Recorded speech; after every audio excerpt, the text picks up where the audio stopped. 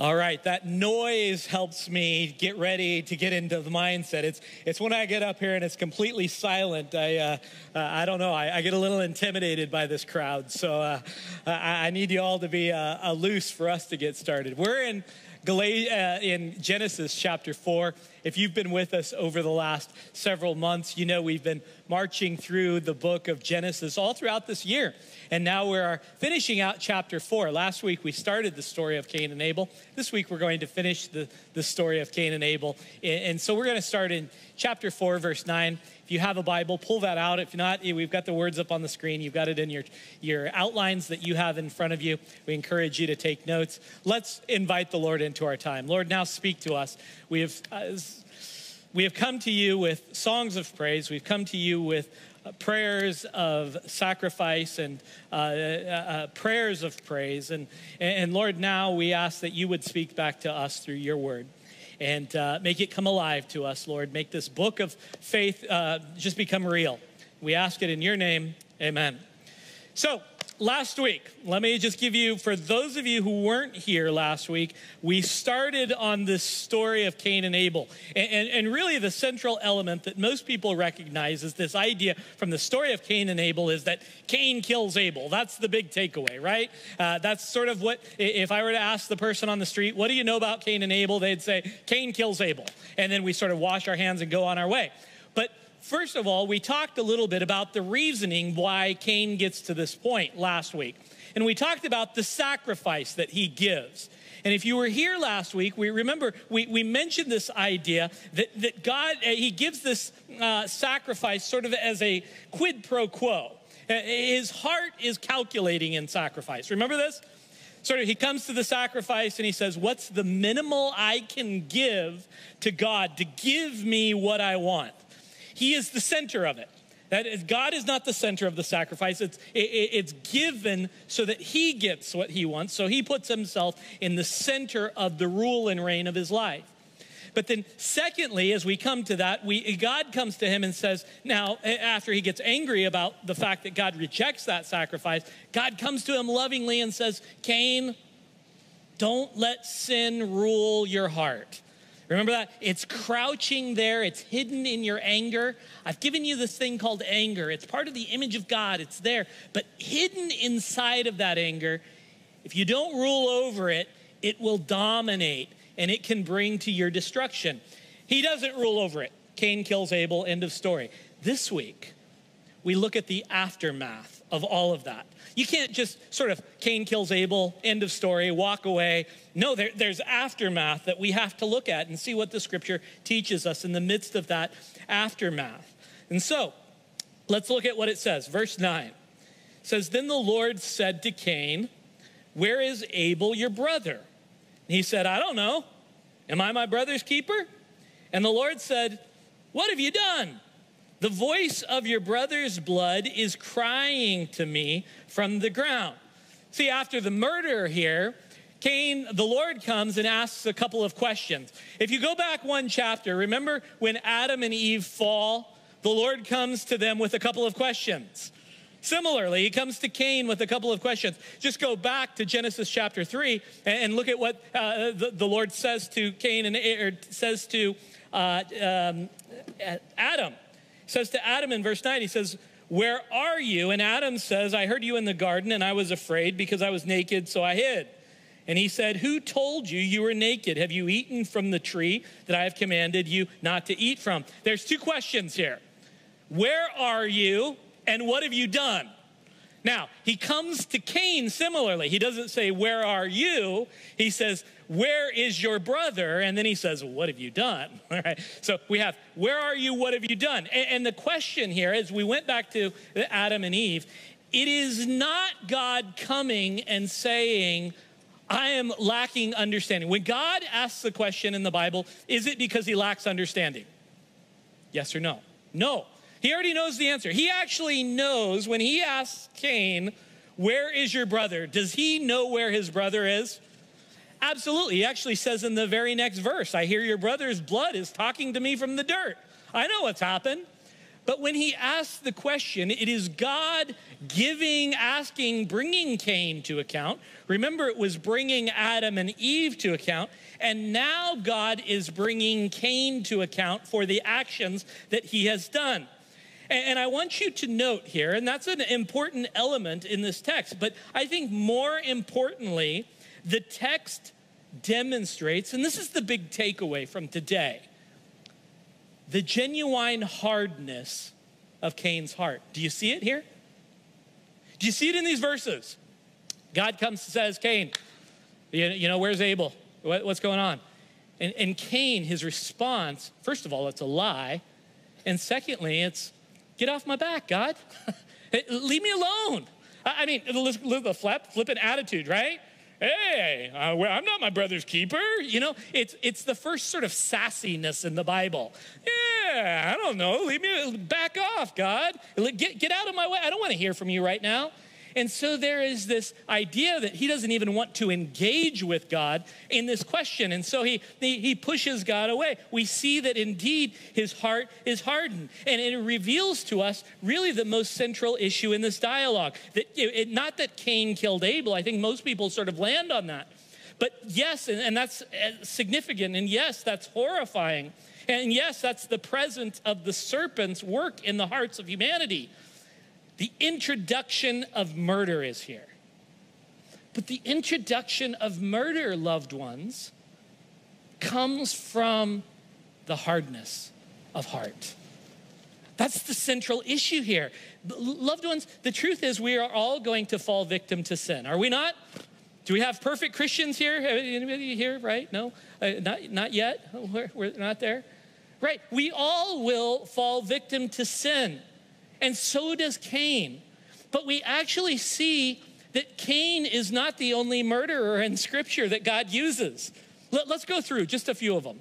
Go back to Moses. Anybody remember Moses? He kills an Egyptian slave master. Does God use Moses? Yes.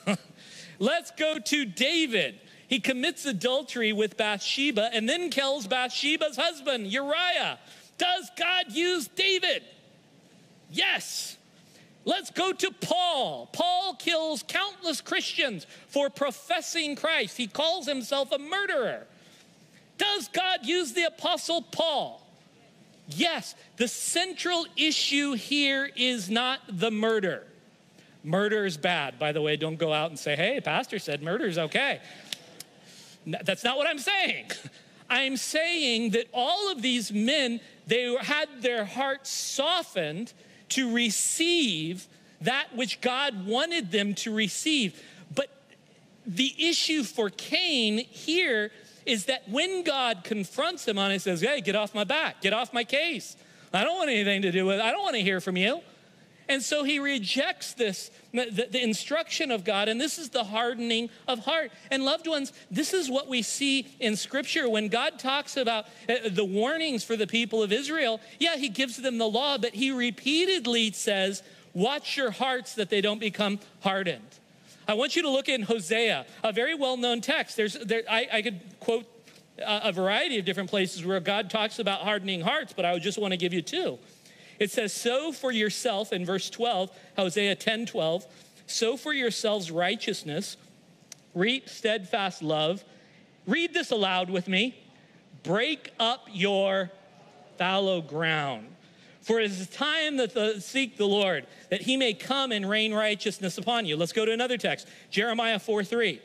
For thus says the Lord to the men of Judah and Jerusalem, read it with me break up your fallow ground and sow thorns among them. Okay, two times, and we see this word fallow ground used various times in scripture. Now, I live in Manila. I'm not an agricultural kind of guy. You know, I'm used to traffic, I'm not used to dirt, right? But this idea of fallow ground is very significant in an agrarian culture. Fallow ground simply is ground that is unused all right? And over time, as ground becomes unused, what happens to it? It becomes hardened and not receptive to any kind of seed. And so it was very important in that day and age that you would turn it up so that it wouldn't become hardened. And when you turned it up, then you would put the seed into it. So it's this idea of unused and uh, uh, uh, of unused ground. And I don't want you to miss the imagery here in this text because we might just think when God is talking about a hardened heart, that you, know it's just people who are mean or, or people who are not nice or uh, uh, cold-hearted or indifferent to people's hurts they don't care about things oh they're hard-hearted you've heard that before right oh, they have such a hardened heart. And we just think it's mean or something to that effect. You know, they like to throw kittens out in the street or something. You know, something brutal, right? And we just think that. That's what a hardened heart is. But that's not what a hardened heart is. A hardened heart in Scripture is a heart that is not receptive to the instruction of God. Do you got that? So that, that's different than just being mean. And yeah, it leads to consequences. But when the scripture says to the people of Israel, Your hearts are hardened, the ground is fallow, it means that I have been giving you instruction and you have not been opening that up. Your heart is laying dormant there to the destruction that I am trying to give you. And the main issue with the hard heart is, is that it's just not receptive to the word of God. Remember, God, last week, he lovingly comes and he approaches Cain in his struggle with anger. If you were here last week, Cain is angry. And the Lord lovingly comes to Cain and he approaches him and he says, Cain, I have some instruction for you. Don't let this rule you. Do, do, get control over this. Because if you don't get control over this, this will lead you down a path that will harm you. And, and what does Cain do? I don't want to hear from you now. I, I don't want to. there it is, right? I don't want my heart to be penetrated. I don't want my heart to receive anything. I would rather that it lay dormant. And loved ones, the longer our hearts remain dormant, the more peril that we, we find ourselves in. In fact, if you go to the book of Romans, Paul gives this warning to the people, uh, the, the first century church. He says in Romans chapter 1, he says, For what can be known about God is plain to them, because God has shown it to them. For his invisible attributes, namely his eternal power and his divine nature, have been clearly perceived ever since the creation of the world in the things that have been made. So they are without excuse. For although they knew God, they did not honor him as God or give thanks to him. So they became futile in their thinking and their foolish hearts were darkened. Now, I want you to follow this, right? Paul is saying these people in the past, God came to them. He revealed himself to them. He gave them instruction. He, he offered his wisdom to them. And little by little, what did they do? They, they, they rejected it, they didn't receive it. And so he says actually that their hearts are darkened, which is the same as another metaphor of you be having a, a, hard heart. And listen, it was little by little. Listen, I'm not worried. All, you know, you're here this morning, you're at church, and you have a hot, soft heart, and you're receptive to it. I am not worried about you tomorrow morning, you going out of UCM and saying, I have a hard heart, or anybody here just having a hard heart in the morning. It doesn't happen overnight like that, okay? It, it just doesn't. A fallow ground does not become fallow overnight. You know how fallow ground becomes fallow? Little by little, day by day, day by day. It is a process. And in our lives, as this is what Paul is saying here, over time, God gave them instruction, God gave them wisdom, God gave them all that they needed, but little by little they rejected it, and little by little their hearts became harder and harder.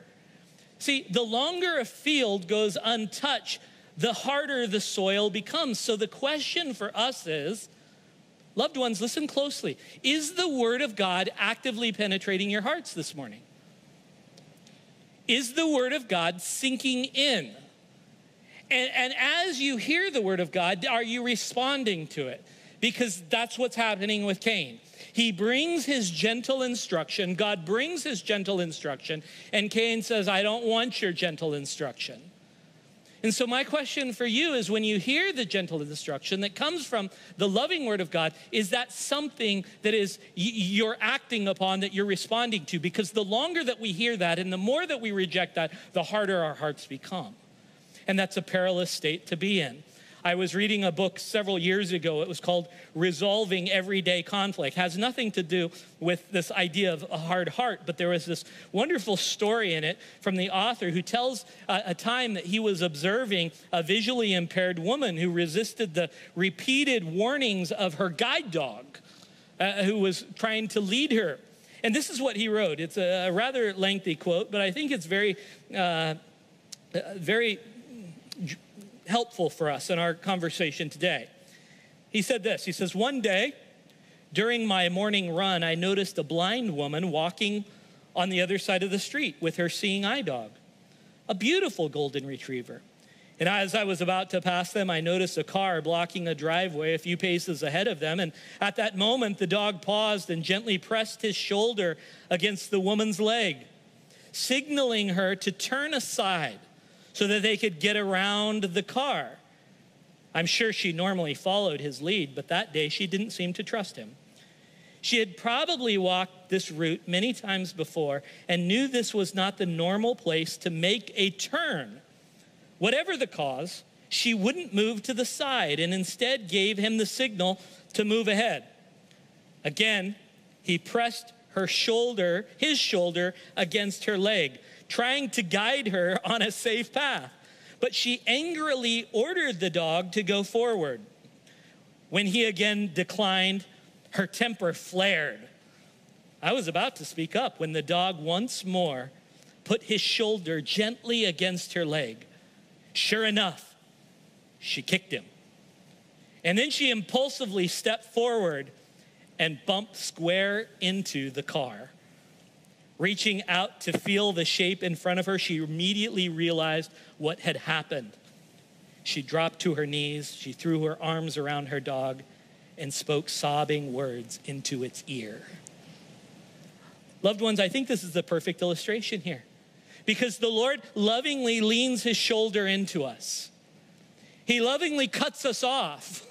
he lovingly comes to us when we are eh, walking in this place of blindness and, and he, he throws himself into us in the most compassionate way and says, I, I, I want to offer you some instruction.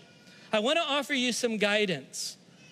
And sometimes we reject that. Sometimes we get angry with it, don't we? Sometimes we, we, we raise our fists to the Lord and say, I don't want to listen to this instruction.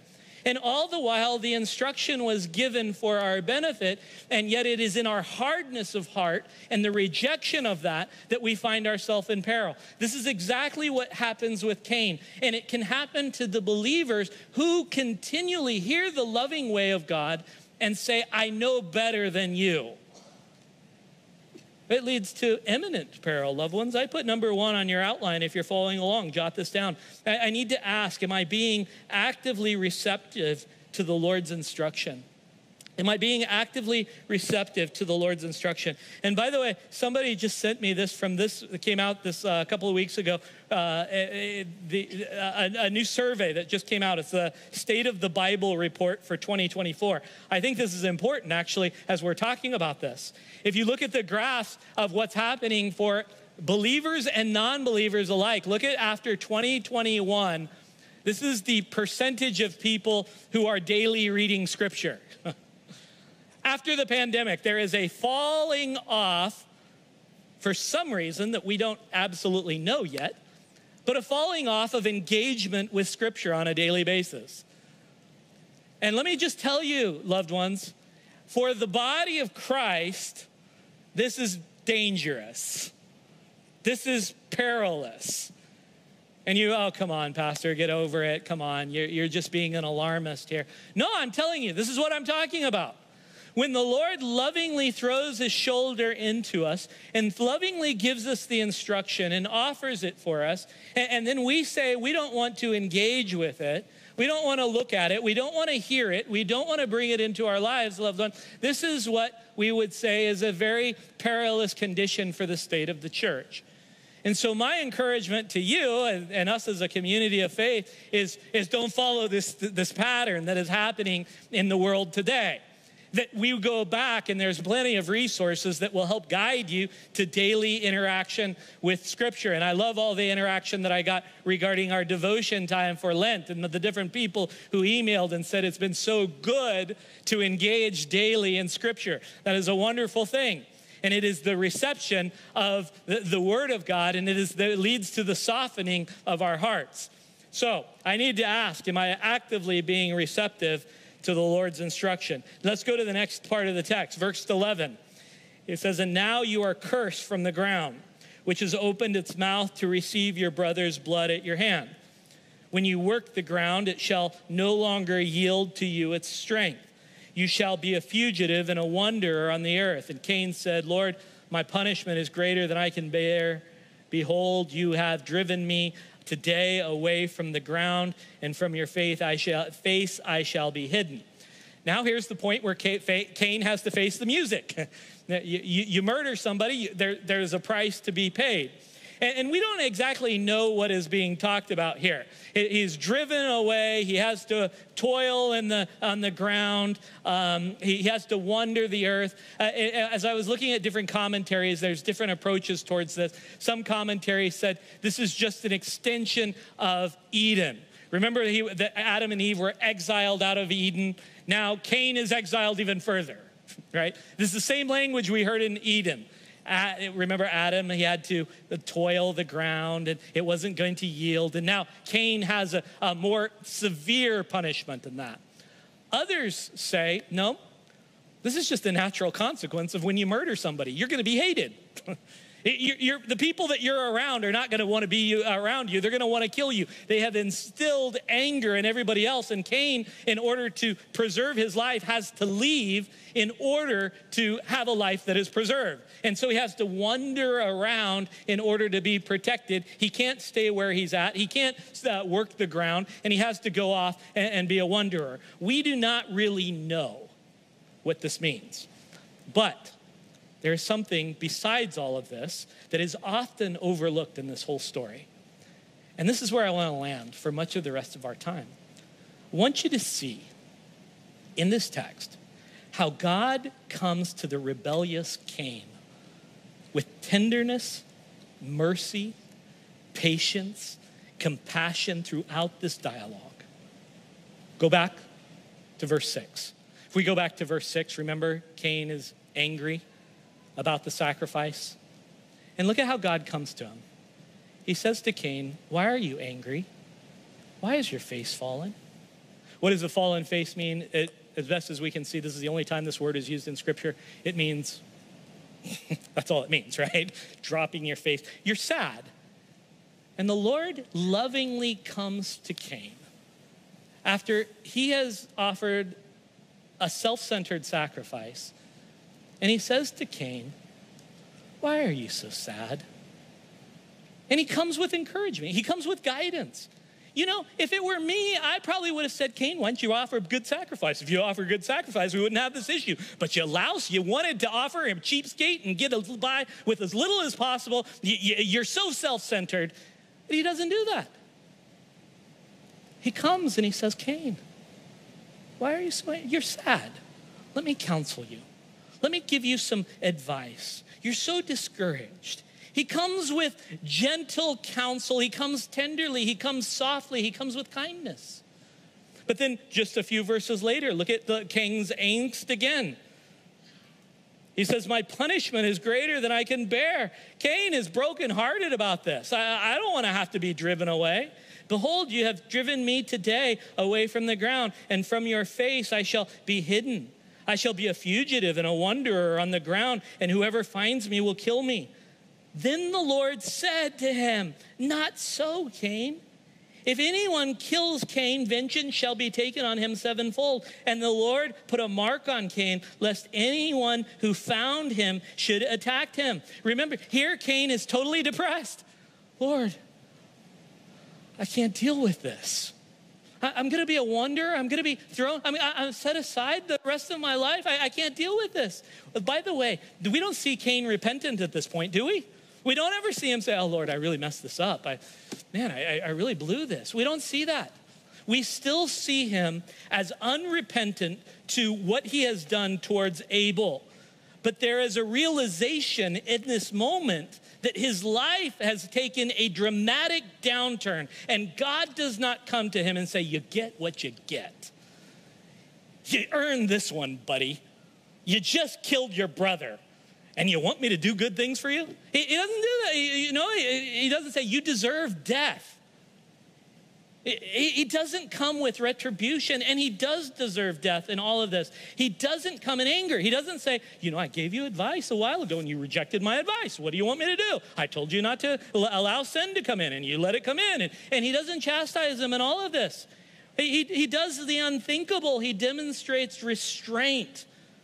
Can you imagine this restraint? He, God says to him, Okay, Cain, I'm going to show you mercy. I know you're worried about your situation, but I'm going to show you grace. And he says, I'm going to mark you. What patience. It's on full display for the universe to see here. The wonderful grace of God in chapter 4 for the unrepentant whom God still shows favor and mercy to.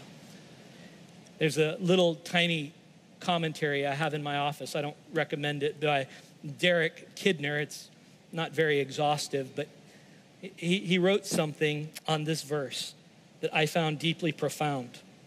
He said, God's concern for justice for the innocent is matched only by one other thing his care for the sinner. Don't you love that? Even the querulous, so this means whining. We don't use querulous too often in our language, but even the whining prayer of Cain had contained a germ of an entreaty. God's answering pledge, together with this mark or sign.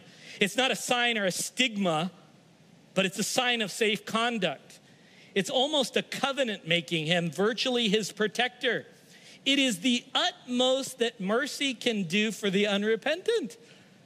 Do, do, you get what it says? He comes to the unrepentant murderer and he says, I am going to be your protector. I'm going to put a sign on you. I, am going to take care of you. I, am going to demonstrate what, what mercy and grace. We, we get another glimpse in the heart of God towards humanity. Remember, we go back to Adam and Eve. When they fell, God goes to the outside of the garden and he, he makes a sacrifice for them and he puts a coat upon them and he blesses them and, he says, You're still going to be my heirs. You're still going to be my, descend- my, my, my, my offspring. I still am going to love you. And then you go even further. Now, Cain, he kills somebody, and God says, I'm still going to put my mark upon you. God's love for humanity is crystal clear in this text, even for those who have rejected him. God so loved the world, not just the good people. He loves the humanity. He loves them all here. And notice he says, I'm, the, the, seal, this mark. Now, we don't know what this mark is. It's interesting. We can, uh, if you look at a variety of different commentators, some people say God gives Cain a tattoo, okay? The first tattoo in scripture. Bet you didn't know that, right? Because it's the same word later on that God uses for people who mark themselves. And so they're saying there's God with the tattoo gun, sort of, you know, putting it on on Cain highly unlikely, but some people say that's what happened. Ancient scholar before the time of Christ, uh, uh, uh, uh of the uh, Torah, he actually said that this is God giving Cain a guard dog. that everywhere that Cain went, he had this big guard dog. I sort of picture this massive, you know, Rottweiler next to him, and anybody who would come next to Cain, he would sic his dog on. That, that's actual commentary that I, I read this week. The truth is, we have no idea what the mark is. But there is some kind of mark where God says to the unrepentant sinner, I am putting my seal on you, I'm putting my mark on you, and no one will touch you. What a covenant that God is making. What great mercy to, that God shows towards Cain. And, and by the way, I would even go further and say if you look at the next few verses, God even blesses Cain. Look, look at what the text says. Go to verse 20. It says, Adah bore Jabal. This is uh, Cain's descendants, by the way. So he's blessing the descendants. He says, He was the father of those who dwell in the tents and have livestock. His brother's name was Jubal. He was the father of those who play the lyre and the pipe. Zillah also bore Tubal Cain. He was the forger of all instruments of brawn and iron. This is all advanced stuff. You, know, it's not like you go down to the steel shop back in the day. The forgers of iron and bronze were advanced civilization. Those who made instruments, advanced civilization. Those who lived in the tents were advanced civilization. And God is actually blessing Cain's descendants. I want you to think about all of this. Here comes Cain or here comes God. He is the protector, He's the counselor, He's the comforter, He's the encourager, He's the blesser of the unrepentant sinner. I don't get it. Certainly doesn't go in your DNA, does it? It's not sort of the attitude that we have naturally uh, coming out from us. Why would God allow a murderer to receive any kind of blessing from him? Because of God's goodness. His character is on display for the people of Israel. His patience is on display in the first chapters of Scripture. Now, let me be clear. This is not, we're not talking about salvation, the ultimate blessing here, but let me be clear. It is the mercy that allows even the unrepentant to be loved by God. Now, why is this important? Two points of application. First of all, it is the kindness of God that often leads people to his repentance. Get that? When God shows kindness over and over and over again, it is often that which compels people to come to him. This is exactly the point that Paul makes in Romans chapter 2. He says it was God's ongoing kindness in our rebellious state that led to us saying, What a great God we have. Let me illustrate this. The best way I can illustrate this is through the story of somebody by the name of Frank Schaeffer. Now, if you're a theologian here, which probably not too many of us are, you would be familiar with a name called Francis Schaeffer. Francis Schaeffer is a very well known theologian from the 20th century. He and his wife wrote several different texts on the, the greatness of God. Now, his son, Frank, their son, Frank, absolutely hated God totally wandered away from the things of God, became an artist with profane things of God, made, eh, wrote profane things about God, and, and absolutely came to the point where he rejected the faith of his parents, absolutely to the chagrin of his parents, I'm sure. And yet, in the middle of all of this, his mother, Edith, was always supportive and compassionate. When she passed away a couple of years ago, he, she, be, before he, he wrote a eulogy for her, and in this eulogy, he describes all the ways that his mother would show unconditional love. Even after he would publish a profane book, she would write and say, Congratulations, your book was published. I love you so much. I'm so proud of the talents that you have, and these types of things. And he, and he writes this in, in this eulogy. He said, Mother praying with me every night before turning out the lights she let me in on her best secret. The universe is not a hard, cold, lonely, meaningless place, but a cosmos full of love. Mother never making a sarcastic remark about her children or anyone else, and the lifelong self confidence that that gave me. Mother cleaning up my vomit after I took drugs, and then fixing me poached eggs and toast as if I was three again. Mother buying me art supplies. Mother's horror at the harshness as she put it, of so many evangelical religious people and the way they treated the lost. And her saying that no wonder no one wants to be a Christian if that's how we treat people. Maybe everything has changed for me theologically, but some things haven't changed. I'm still thinking of mom's eternal life in her terms because she showed me the way to that hope through her humane, and she won. Her example defeated me. The day before my mother died, my last words to her were I want you to know your prayers for your family have been answered. I credit every moment of joy to your prayers. I miss her voice. I learned to trust that voice because of life witness that backed it up. And here's the part I want you to uh, land on I know I will hear her voice again. You won, Mom. I believe. I believe. How does the one who is profane come back to, who has rejected God, come back to, you won, mom, I believe? It is through the love and the compassion of the profane. It is the one that extends the heart and the mercy. It is the one who, who shows the kindness.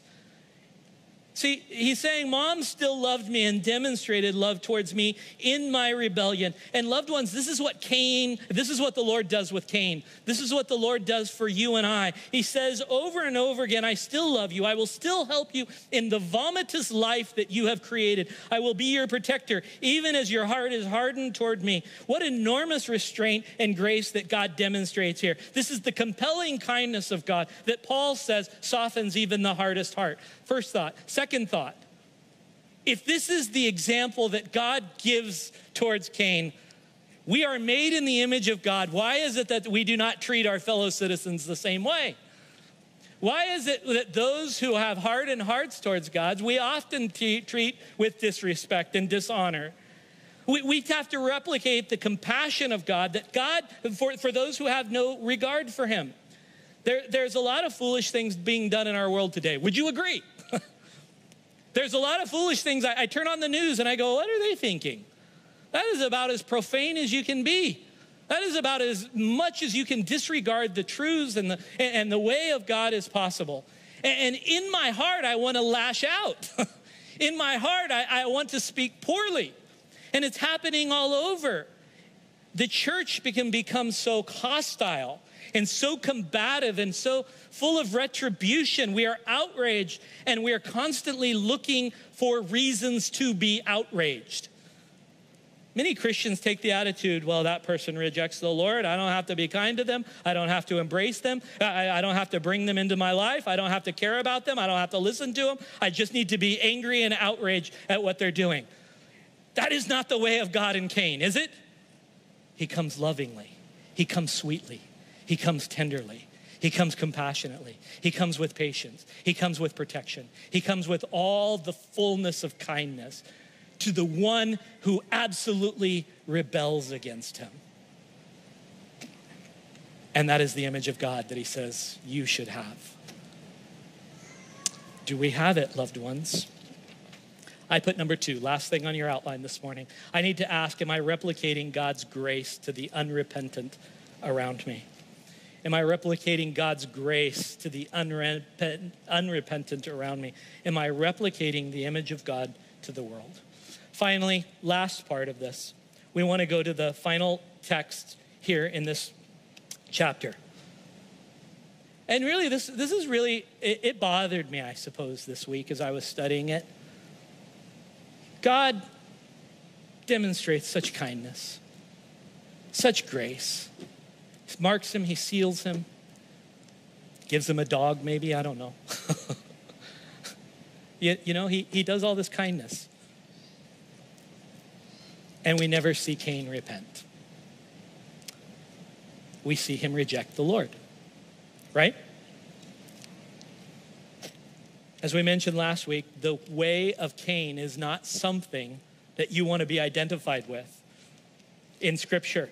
It's, it's, it's not good in, in biblical language. In fact, Josephus, the early uh, Jewish historian of the first century, said Cain was wholly evil and he instilled evilness in his family. We actually see this happen. If you go down to the next verses, this is how it ends. You have verse 23 Lamech, the song of Lamech.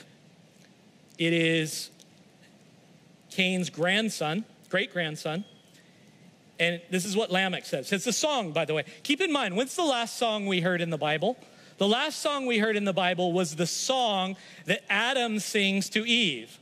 Remember? At last. How good that was? Uh, if you were here, he, he rejoices in this wonderful, wonderful thing that God has made. At last, second song in the Bible, not so good. Look at the words of the song. This is Cain's great grandson, says, Adah and Zillah, hear my voice, you wives of Lamech. Listen to what I say. I have killed a man for wounding me, a young man for striking me. If Cain's revenge is sevenfold, then Lamech's is 77 fold. What is he doing? He's writing a song about what a great killer he is. what a great murderer he is. You know, Cain killed a man, but he's only got seven sevenfold. I am like the best killer on the planet right now. Dr. Steve Pardue from the first service at IGSL, he's a professor there, he said, This is the first sign of gangster rap in, the, in all of humanity, right? This idea where we were singing about and celebrating wickedness. They're making songs. It goes from at last, what a wonderful thing God has done, to look at me. I'm a wicked person. I'm proud of it. Why? We don't see Cain ever repent. We don't see Cain ever try and correct the ship. We don't see Cain ever changing the behavior. We see that Cain is celebrating this. And so, of course, by the time we get to the grandson, well, that great granddad, he did a great job of killing people. So, well, I, I want to do it now. In fact, somebody sent me an article this week about what's happening in Haiti. It, the exact same thing is happening right now. Warlord turns to death, rape, and rap videos to expand control. What he's doing, he's going to hip hop or uh, TikTok and in TikTok, he's posting all of these rap videos about how he's killing people and how he's doing terrible things, and you better come and follow me. This is happening right now, and I'm thinking that's actually what's happening with Cain. That's a good parallel. That's how wicked Cain's situation had become. Now, what happens after this? Nothing. The story ends right there. That's it. That's all. You know what happens if you look at the next verse? It says, And Adam knew his wife again, and she bore a son called Seth. God says, I'm done with the line of Cain. I'm done with the Cainites. I'm going to go back. Let's go to the main story. I'm done. And he leaves them to themselves. And we don't hear anything else from the Cainites. This is not the Canaanites, by the way. This is the Cainites. Canaanites are a different people altogether the story ends. Isn't that sad? Your parents are Adam and Eve. They loved God. They walked with God in the garden. You were talking with God, and now it's over. The story ends. Loved ones, the story ends for those who ultimately are going to reject God, who keep God at, at great length the story ends. There's a sadness there for those who remain hard hearted. Unlike those who hear God's voice, receive God's voice and God's instruction, and God says, Come, dwell with me forevermore. God says, I will be your people, or you will be my people, and I will be your God, and I will be with you. What a wonderful thought. But for those who are hardened, the story ends. See, loved ones, in this story, we see the love of God, the grace of God, the goodness of God. It's all on display and it is never questioned here. The question comes back to you and me. How do we receive it? Is your heart softened to the voice of God as He puts His shoulder in? And gets in front of you. Do you receive that? Because all along the way, his love is everywhere. The false narrative that we buy into is God is vengeful, God is mean, God is out to get us. That's a false narrative. He's always putting his shoulder in lightly and lovingly. And sometimes we're kicking it and yelling and screaming. And he says, I'm still there. I'm leaning in. I'm leaning in. Loved ones, how is your heart? Is it going the way of Cain? That's a serious question that everybody needs to answer. Lord, I pray that you would help us in this instruction to be reminded of your wonderful grace, compassion. You would remind us again today of how you lovingly lean in. And that when we reject that and we are hardened hearts, that it leads to nothing good in our lives. We stand in awe and appreciation of your grace and mercy. And we give you thanks. Amen.